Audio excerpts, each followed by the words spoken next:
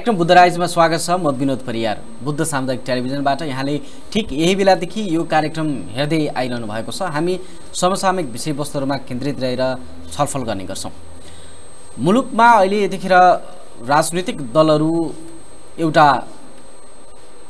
निर्वाचन पछिको अवस्थामा छन् र खास गरेर निर्वाचन पछि प्रदेश र प्रतिनिधि सभाको निर्वाचन पछि सत्तासीन सत्ताको विषयमा विपक्षी दलहरू र सत्तामा रहेका दलहरूको बिचमा फरक फरक दृष्टिहरू आइरहेको छ र अहिले नयाँ सरकार मुलुकले पाइसकेको छैन। जनमतको हिसाबले अन्य दलहरूले अथवा वाम गठबन्धनले बहुमत प्राप्त गरे पनि नेपाली कङ्ग्रेस अहिले पनि सरकारमै रहिरहेको छ र यो सँगसँगै अहिले साना पार्टीहरू जसलाई मतको हिसाबले साना भनिएको थियो ती दलहरू थ्रेस होल्डका कारणले थ्रेस होल्ड कटाउन नसक्ने दलहरू धेरै छन्। र ती मध्येको एउटा दल जसले नेपालको नेपालको कम्युनिस्ट राजनीतिलाई फरक दृष्टिले पनि हेरिरहेको छ। आज हामी यही विषयमा केन्द्रित रहेर कुराकानी गर्दैछौँ। हामीसँग नेपाल कम्युनिस्ट पार्टी क्रान्तिकारी माओवादीका स्थायी समिति सदस्य परि थापा हुनुहुन्छ। उहाँ अघिल्ला संसदमा उहाँको उपस्थिति रह- रहँदा फरक विचार राख्दै लोकप्रिय पनि हुनुभएको थियो। नेपाली आम जनताको माझमा आज हामी उहाँसँग कुराकानी गर्दैछौँ। परि थापाजी यहाँलाई स्वागत छ। धन्यवाद। अहिले यो तपाईँको पार्टीकै प्रसङ्गबाट कुराकानी गरौँ। अब तपाईँहरू पहिला नेकपा एकीकृतमा हुनुहुन्थ्यो त्यसपछि पार्टी एकीकरण भएर वैद्य मा नेतृत्वको माओवादीमा हुनुहुन्छ। अहिलेको यो चुनाव पहिला चाहिँ तपाईँहरू साङ्गठनिक हिसाबले अलिक कमजोर हुँदा पनि संसदमा उपस्थिति थियो। अहिले दुईवटा पार्टी मिलेर पनि संसदमा यहाँहरूको उपस्थिति रहेन। अब के हुन्छ? तपाईँहरू कसरी अगाडि बढ्नुहुन्छ? होइन अगाडि त हामी बढी नै रहन्छौँ। अब संसदीय चुनावलाई हामीले क्रान्तिकारी उपयोग गरेका थियौँ। र त्यो एउटा सङ्घर्षको मोर्चा हो।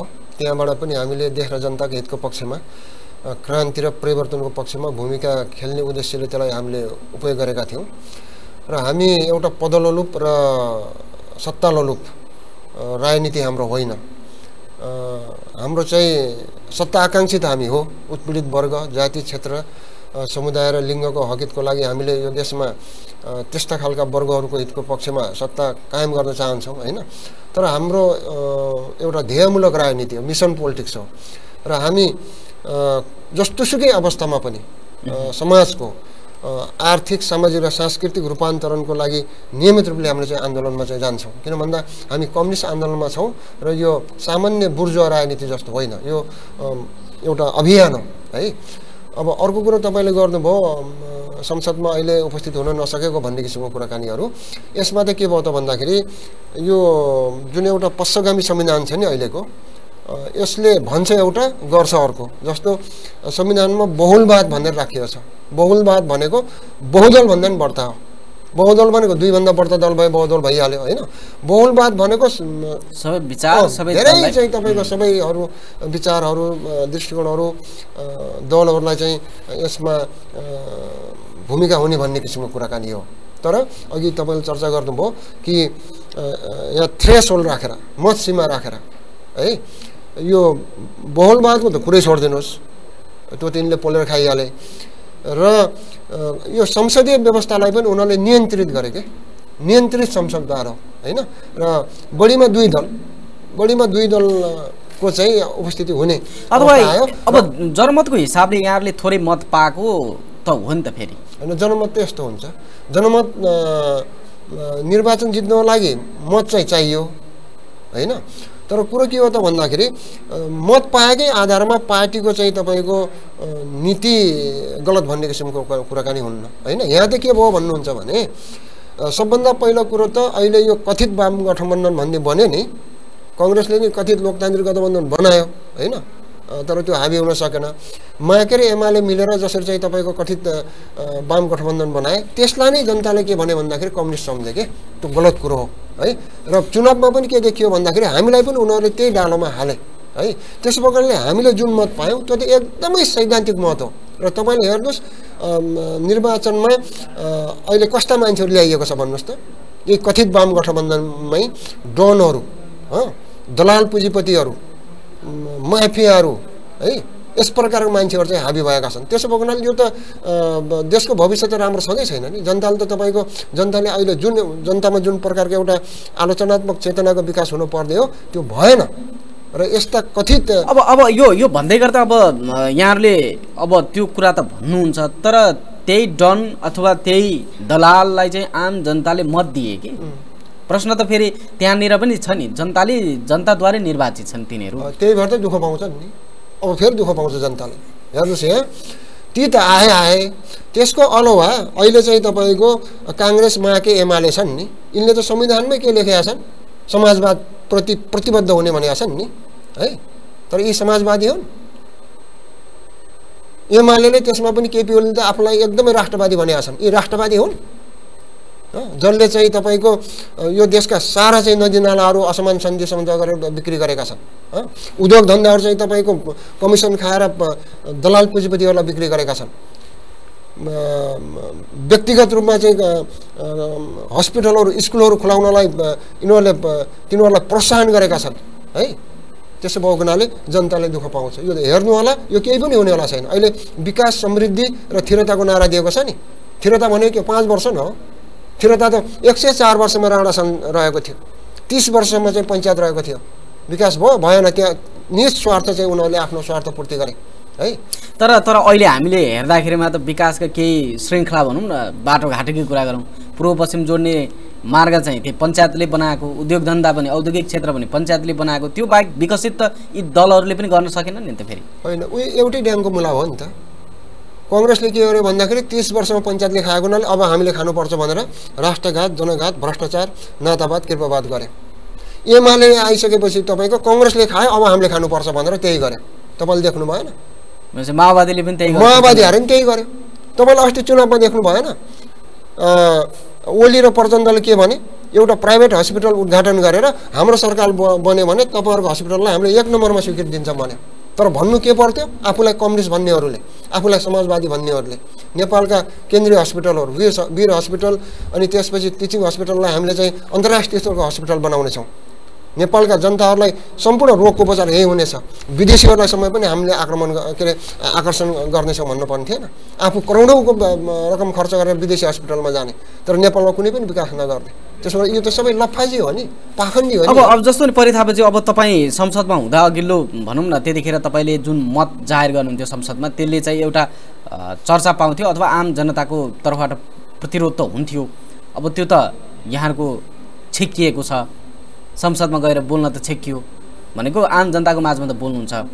अब तपाईँको पार्टीले पाएको मत अब साङ्गठनिक हिसाबले सबै हिसाबले जुन मत चाहिँ थ्रेस होल्ड कटाउन सकिएन नि। अब त्यसलाई कसरी अगाडि बढ्दै हुनुहुन्छ त्यो अलि जनताको माझमा कसरी पुग्दै त्यो यस्तो छ। अब त्यो एउटा मञ्च थियो होइन? तर हाम्रो जनता बिचमा जाने मञ्च त कसैले पनि रोक्न सक्दैन नि। यी हामी गइरहेका छौँ। त्यसो भएको हुनाले त्यसलाई हामीले क्रान्तिकारी उपयोग गर्ने प्रयत्न गरेका थियौँ। त्यसमा चाहिँ हामीले अपेक्षा गरे जस्तो भएन है? र अर्को कुरो के भयो त भन्दा अघि पनि मैले तपाईँलाई भने कि नेपाली जनताहरूमा वामपन्थीहरू अथवा कम्युनिस्टहरू मिल्दिए हुन्थ्यो उनीहरू एक भए हुन्थ्यो यिनीहरूले राम्रो गर्छन् कि भन्ने किसिमको जुन एउटा भावना हो त्यो भावनालाई उपयोग गर्दा अथवा त्यसलाई चाहिँ तपाईँको प्रयोग गर्न चाहिँ अहिले माके र एमालेको गठबन्धन चाहिँ सफल भयो है? तर त्यो हुँदैन। मैले भने त्यो हुनेवाला छैन। भनेको एमाले र माओवादी पार्टी एकता गर्दैनन् भन्ने तपाईँको भनाइ हो। पार्टी एकता त होस् न उनीहरूको हामीलाई के भयो? उनीहरूको कुरा मिल्छ भने त्यसमा हामीलाई आपत्ति छ। उनीहरूले जुन काम गर्ने भनेका छन् नि त्यो हुँदैन है? भनेको समृद्धि हुँदैन उनीहरूले कहाँ। हुन्छ तपाईँको? समाजवाद ल्याउने भनेको छ नमो नवोदारवादलाई चाहिँ अवलम्बन गरेर हिँडेको छ। बजेट चाहिँ तपाईँको फेक बजेट प्रस्तुत हुन्छ है? त्यसो भएको हुनाले त्यो हुनेवाला छैन। त्यो हो भनेदेखि त यिनीहरूले के गर्नु पऱ्यो भन्दाखेरि आफ्नो स्रोत साधन आफ्नो हातमा लिनु पऱ्यो त्यसको स्वामित्व आफूले राख्नु पऱ्यो अहिलेका असमान सन्धि समुदाय खारेज गर्नु पऱ्यो बि बिक्री भएको चाहिँ उद्योग धन्दाहरूलाई पुनस्थापना गर्नु पऱ्यो होइन? त्यो गर्छ यिनीहरूले गर्दैन। जहाँसम्म तपाईँले हाम्रो पक्ष हाम्रो बारेमा सोध्नुभयो त्यसको लागि विगतमा भएका जुन टुटफुटहरू हुन् त्यसले गर्दाखेरि हाम्रो पार्टी सङ्गठन कमजोर हुन पुग्यो। है? र त्यसो भएको हुनाले अहिले हामीले सङ्गठन सुदृढीकरण कार्यक्रम अगाडि बढाएका छौँ र यही आज मार्च एक गतेदेखि हामीले तिन महिनासम्म चैत महिनासम्म को अन्तिमसम्म हामीले सङ्गठन सुदृढीकरणको कार्यक्रम सञ्चालन गरेका छौँ र यसरी एउटा क्रान्तिकारी पार्टी र सङ्गठन कमजोर हुँदाखेरि कसरी राष्ट्रघातीहरू जनघातीहरू भ्रष्टाचारीहरू नातावादीहरू कृपावादीहरू दलालहरू माफियाहरू कसरी हाबी हुन्छन्? चाहे त्यो त्यो चाहिँ तपाईँको कथित वामपन्थी भन्नुहोस् चाहे कथित लोकतन्त्रवादी भन्नुहोस्। यी त एउटै ड्याङका मुला हुन् नि। काङ्ग्रेस माके एमाले एउटै ड्याङका मुला होइनन् यिनको यिनीहरूको ड्याङ अब अब त्यो भने पनि उनी हुन् सरकार चलाउने त। आम जनताले मत दिएको त तिनलाई हो नि त धेरै त फेरि। अनि त्यो त यस्तो। त्यही भएर त के छ भन्दाखेरि अब जनताले फेरि पनि दुःख पाउँछ नि यहाँ त। भित्रका केही होला नि त? पार्टी पार्टी सिङ्गोलाई त्यसरी आरोप लाउनु मिल्ला? मिल्छ। पार्टी नै हो नि। पार्टी र नेतृत्व हो नि त। है? मुख्य त त्यहाँभित्र कतिपय मान्छेहरू राम्रा होलान् पार्टीको सिद्धान्त त फेरि त्यस्तो छैन नि त फेरि। हेर्दाखेरिमा त किन नहुनु त्यो त तपाईँको कम्युनिस्ट भनेको छ। अब ओलीले त भनिसके। हामी चाहिँ विचारधारात्मक र दार्शनिक हिसाबले कम्युनिस्ट होइन। हामी राजनीतिक रूपले मात्रै कम्युनिस्ट हो। भनेको के हो त भन्दाखेरि पार्टीको नाम कम्युनिस्ट राखिहालियो हँ? अब यही चिनियो त्यसो भएको हामी राजनीतिक रूपमा मात्रै कम्युनिस्ट हो। पार्टीगत रूपमा होइन। त्यो त हाम्रो कम्युनिस्ट भनेको बिकाउने देखाउने एउटा ट्रेडमार्क जस्तो भयो है? जस्तो भन्नुहोस् न कम्युनिस्ट पार्टीको नीति त के हुन्छ भने समाजवाद ल्याउनको लागि त उनीहरूले के भन्नु पर्यो? योग्यता अनुसारको काम अँ, काम अनुसारको दाम पाउनु पर्यो है? र राष्ट्रिय उद्योग धन्दाहरूलाई प्रवर्धन गर्नु पर्यो। आज दिनको दुई हजारभन्दा बढी युवाहरू विदेशमा गइरहेछन्। तिनलाई यो देशमा रोजगारी दिन पर्यो। है? त्यो यिनीहरूले गर्छन् गर्दैनन्। कङ्ग्रेसले सुरु गर्यो।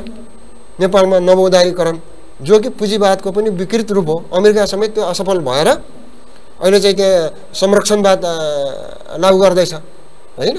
नवोदारवादलाई अप्नाउने अर्थतन्त्र है? अनि समाजवादको कुरा गर्ने?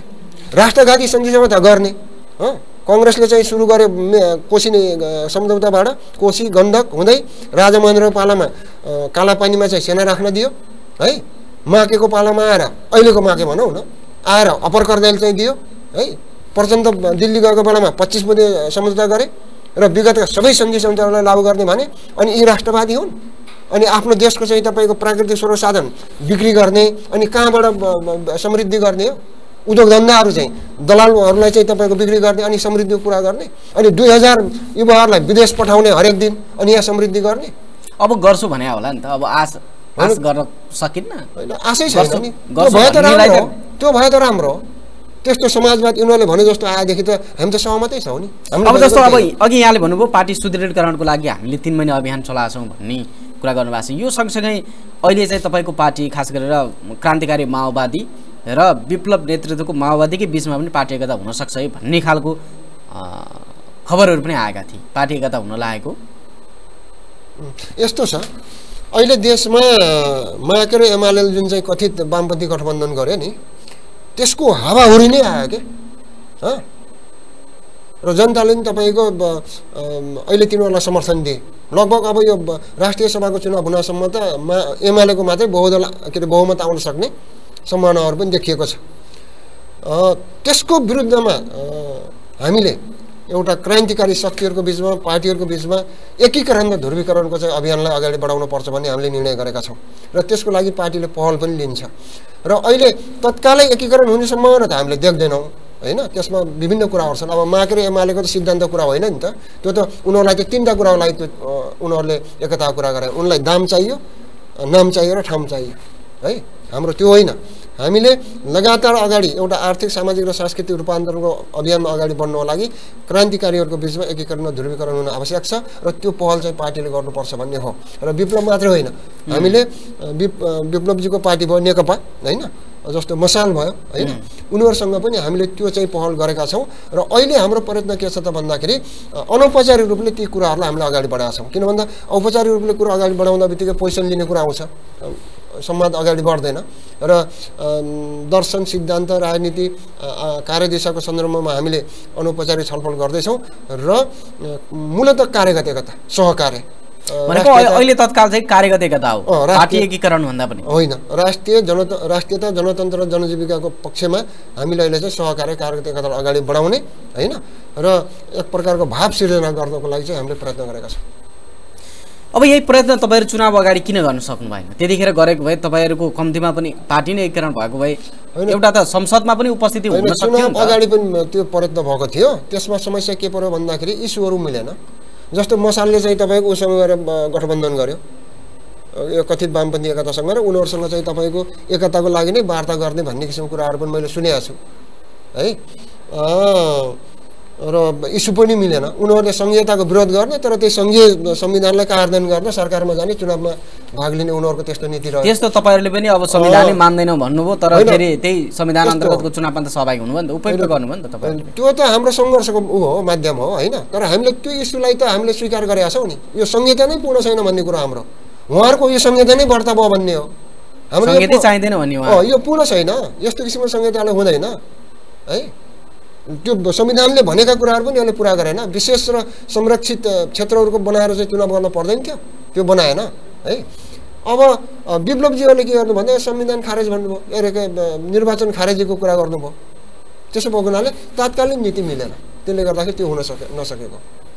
अब जस्तो कम्युनिस्ट पार्टीहरू आम रूपमा हेर्दाखेरिमा त अब देशमै भए पनि दुईवटा पार्टी भए हुन्थ्यो।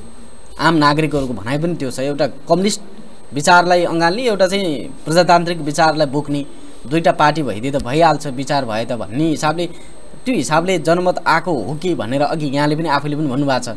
जस्तो कम्युनिस्टहरू मिल्दै हुन्थ्यो भन्ने त आम जनताको त्यो चाहना छ नि। अब यसलाई कसरी हेर्नुहुन्छ यहाँहरूले? होइन त्यो जनताको चाहना जनताले चाहना राख्न पाउँछन् र त्यसलाई हामीले अन्यथा भन्ने कुरो भएन होइन? उहाँहरूले जुन चाहना राख्नुहुन्छ त्यो ठिकै छ। तर पोलिटिक्स त त्यसरी जाँदैन नि त। राजनीति र पार्टी भनेको त के हो त भन्दाखेरि दर्शन र वर्गसँग सम्बन्धित हुन्छ नि त। आखिर कम्युनिस्टहरूको त एउटै दर्शन हो नि त। त्यो। दर्शन विश्वव्यापी दर्शनलाई किन अङ्गीकार गर्न सकिएन? किन नाम मात्रका? कम्युनिस्ट भन्नुहोस् न। अघि नै मैले भने नि राजनीतिक कम्युनिस्टहरू है? अब पार्टीमा चाहिँ तपाईँको डनहरू भ्रष्टाचारीहरू माफियाहरूलाई चाहिँ घुसाउने र तिनको नेतृत्व गर्ने तिनीसँग मिलेर चाहिँ तपाईँको उद्योग धन्दा खुलाउने व्यापार गर्ने घर घडेरी चाहिँ जम्मा गर्ने। अनि त्यस यी कम्युनिस्ट हुन् है? कम्युनिस्ट पार्टी त के हुनु पर्यो भन्दा उसको त ऊ त आइडियोलोजिकल पार्टी हुनु पर्यो विचारधारात्मक राजनीति गर्नु पर्यो। र त्यो विचारधारात्मक राजनीति त उनीहरूले छोडे नि त। त्यो सुरुवात तपाईँको एकाउन्न सालबाट भयो। तत्कालीन हङ पार्लिमेन्ट हुँदाखेरि कङ्ग्रेसले उसलाई सूर्यबहादुरलाई बोक्यो एमाले कसलाई बोक्यो? लोकनबहादुर चन्दलाई है? अहिले त उनीहरूको त आइडियोलोजिकल पोलिटिक्स नै होइन नि उनीहरूको त। उनीहरूको त सत्ता र सत्ता लोलुप्ता हो। पदलोलुप्ता हो। मैले अघि नै भने नि नाम ठाम र दाम चाहियो उनीहरूलाई। अब अब अहिले चाहिँ अब सरकारको यो जुन जनमत प्राप्त भइसकेपछिको जुन अस्थिरता देखिएको छ खास गरेर अब यो राष्ट्रिय सभाको निर्वाचन पछि मात्रै सरकारले अहिले देउवा नेतृत्वको सरकारले छोड्ने। अहिले चाहिँ प्रदेशको चुनाव हो प्रदेशका सांसदहरूले आफू निर्वाचित भइसकेपछि शपथ ग्रहण गर्ने ठाउँ पनि पाएको छैनन् कसले शपथ ग्रहण गराउने प्रमुख पनि पाएको छैनन् ए यसलाई चाहिँ अब कसरी हेर्ने? कसरी हेर्नु भएको छ यहाँ? यो त यो संविधान कार्यान्वयनको कुरा जुन यिनीहरूले गरे नि खुट्टाले टेकेर हिँड्नु पर्दैमा टाउकाले टेकेपछि त्यस्तै हुन्छ नि त। भन्नुको अर्थ सेटिङमा त कसरी जानु पर्थ्यो भने सबभन्दा पहिला निर्वाचन के को हुनु पर्थ्यो? सङ्घीय संसद हुनु पर्थ्यो। प्रतिनिधि सभा र राष्ट्रिय सभाको चुनाव हुनु पर्थ्यो। त्यो भएपछि के हुन्थ्यो? संसद अलरेडी हुन्थ्यो सरकार हुन्थ्यो आवश्यक नियमहरू कानुनहरू बन्थ्यो। यहाँ त नियम कानुनै छैन नि त। नियम कानुनै नबनाएर यिनीहरू गए। अनि त्यसपछि प्रदेश सभाको चुनाव हुनु पर्थ्यो प्रदेश सभाको चुनाव भएपछि के हुन्थ्यो? प्रदेश सभाले यो स्थानीय बनाउने। निकायको चाहिँ कानुन त प्रदेश सभाले गराउनु पर्छ नि। त्यहाँ प्रदेश सभा हुन्थ्यो सरकार हुन्थ्यो उसले कानुन बनाउँथ्यो। अनि स्थानीय निकायको चुनाव हुनु पर्थ्यो अनि त्यो के हुन्थ्यो? एकदमै सेटमा एकदम सुगम तरिकाले जान्थ्यो। तर उल्टो हिँड्यो नि त। स्थानीय निकायको चुनाव गराइयो अब अहिले प्रतिनिधिहरू चाहिँ के भएका छन्? बेरोजगार भएका छन्। अब स्मार्ट सिटी भन्नेहरूले स्मार्ट सिटी बनाउँछौँ भन्नेहरूले अब एकदम आलिसान गाडीहरू हँ र एकदम महँगा मोबाइलहरू किन्नतर्फ लागे। अब गाविसका चाहिँ अध्यक्ष भएकाहरूले वृद्ध वृद्ध भत्ता बुझेर जुवा खेल्न थाले। है? भनेपछि देश गम्भीर मोडमा छ। छ नि। त्यो त अहिलेको यो संविधान कार्यान्वयन हुँदैन भन्ने तपाईँको आशै हो? होइन त्यो यस्तो हो। मूलत यो संविधानले कार्यान्वयनै गरेका छैनन्। मैले अघि नै भने नि बहुलवादको नारा दिने बहुलवाद लेख्ने तर के गर्ने? थ्रेसोल लगाउने। समाजवादप्रति प्रतिबद्ध भन्ने तर उदारवाद नवउदारवाद र चाहिँ तपाईँको निजीकरणलाई चाहिँ बढावा दिने। होइन? त्यसो भएको हुनाले यो त यिनको त कुरा गर्ने तरिका हो है? तपाईँले हेर्नुहोस् न एमाले त तपाईँको संहिताको नि विरोधमा थियो नि त होइन? त्यही भएर अहिले हेर्नुहोस् त यो बेनामी प्रदेशहरू प्रदेशको नामै छैन है? राजधानी तोक्न सकेका छैन। ऊ चाहिँ त्यो प्रदेशको प्रमुख नियुक्त गर्न सकेका छैन है? त्यसो भएको हुनाले यो संविधान आफैमा डिफेक्टिभ हो नि त। अब हामी कुराकानीको अन्तिममा छौँ परि थापाज्यू अब आम नागरिकहरूको चाहना देश समृद्ध होस् कोही बेरोजगार बस्न नपराउनु दुःख नपाइयोस्। क्रान्तिका लागि सधैँभरि कति वर्ष लडिरहने विश्व कहाँ पुगिसक्यो हामी पनि प्रविधिमा नयाँ केही काम गरौँ भन्ने आम नागरिकहरूको चाहना छ। अब त्यो चाहनालाई पुरा गर्नको लागि चाहिँ अब देश कसरी चल्नु पर्ला? त्यसको लागि चाहिँ यस्तो हुनु पर्यो। त्यसको लागि के हुनु पर्यो भने यति राम्रो देश छ। संसारमा तपाईँले यति सुन्दर देश कहीँ गरे पनि देख्नुहुन्न। त्यसको लागि खाका चाहियो देश विकासको। उद्योग धन्दा यातायात सञ्चार बस्ती विकासको चाहिँ खाका चाहियो र राजनीतिक पार्टीहरूको बिचमा के हुनु पर्यो भन्दाखेरि अधिकतम सहमति हुनु पर्यो। र त्यो अधिकतम सहमतिबाट तल आउन पाइएन। त्योभन्दा राम्रो गर्न पाइयो है? तर यहाँ त के छ? न्यूनतम सहमति पनि छैन खाका पनि छैन है? र अगाडि जानेमा कम्पिटिसन छैन कि पछाडि आउने कम्पिटिसन छ? त्यसमा त हामी पनि सहमत छौँ नि। हामीले योगदान पुऱ्याउन सहमत छौँ हामी। भनेको अहिले यी दलहरू अथवा तपाईँहरूले भने जस्तो काङ्ग्रेस एमाले माओवादी सच्याएर देश समृद्धि बनाउनतर्फ लाग्यो भने तपाईँहरूको सहयोग हुन्छ नै। होइन त्यो त यो त हामीले घोषणापत्रमै लेखेका छौँ त। देशभक्त जनक्रान्ति मोर्चाको घोषणापत्रमै क्लियरली लेखेका छौँ नि त्यो कुरोमा। अहिले मैले जुन कुरो भने है? त्यही भएर हाम्रो पार्टीले यो सरकार भन्दा बित्तिकै एउटा ज्ञापन पत्र लिएर जाने हामीले निर्णय गरेका छौँ। राष्ट्रियघाती सन्धि सम्झौता खारेज गर बेचिएका चाहिँ उद्योग धन्दाहरू पुनस्थापित गर देशमा रोजगारको सिर्जना गर दुई हजार युवाहरू बाहिर गइरहेछन् त्यसलाई देशभित्र रोजगार उपलब्ध गराऊ भनेर हामीले चुनौतीपूर्ण तरिकाले हामीले यिनीहरूलाई ज्ञापन पत्र दिन्छौँ तर गर्नेवाला छैन। त्यो गर्दैन। हस् यहाँले यो समय दिनुभयो यसको लागि बुद्ध टेलिभिजनको तर्फबाट यहाँलाई धेरै धेरै धन्यवाद छ हुन्छ विचार राख्नलाई तपाईँहरूले अवसर दिनुभयो। तपाईँहरूको प्रगति उन्नतिको कामना गर्छु। हस् धन्यवाद छ आज हामीले बुद्धराइजमा कुराकानी गऱ्यौँ। नेपाल कम्युनिस्ट पार्टी क्रान्तिकारी माओवादीका स्थायी समिति सदस्य परि थापा। उहाँसँग हामीले समसामयिक राजनैतिक विषयमा कुराकानी गऱ्यौँ। आजको यो कुराकानी यहाँलाई कस्तो लाग्यो? यहाँका मनमा उठेका प्रश्न जिज्ञासा भए हामीलाई खबर गर्न सक्नुहुन्छ। आजको कार्यक्रम हेरेर साथ दिनुभएकोमा सम्पूर्ण दर्शकहरूलाई आभार प्रकट गर्न चाहन्छौँ। आजका अतिथि नेकपा क्रान्तिकारी माओवादीका स्थायी समिति सदस्य परि थापाज्यूलाई पुनः धन्यवाद। प्रविधि संयोजनको लागि नरेश अधिकारीलाई आभार प्रकट गर्दै म विनोद परियार आजको श्रृङ्खलाबाट छुट्टिन्छु। नमस्कार।